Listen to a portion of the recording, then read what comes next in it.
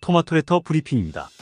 북한이 군사정찰 위성 말리 경이로를 통해 미국 백악관과 펜타곤 등 주요 시설을 촬영했다고 주장했습니다.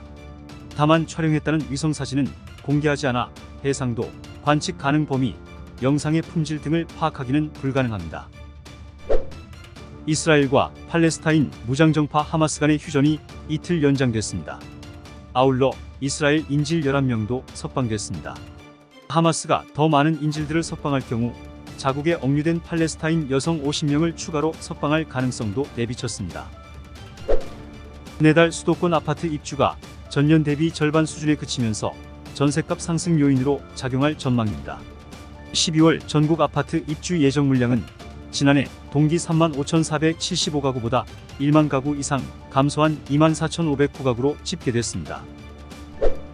사교육 부담을 줄이기 위한 킬러 문항이 없어지자 사교육 시장이 되레 문전성시를 이루고 있습니다. 중고난도의 준킬러 문항이 늘자 학부모와 수험생의 불안감이 더욱 높아지면서 논술, 입시 컨설팅 등이 주목받고 있습니다. 전 세계적으로 소셜미디어 X 보이콧 선언이 이어지고 있습니다. 디즈니 등을 포함한 미국 기업들이 광고 중단을 잇따라 선언하는 가운데 파리 시장 역시 거대한 하수구가 됐다며 보이콧했습니다. 토마토레터 브리핑이었습니다.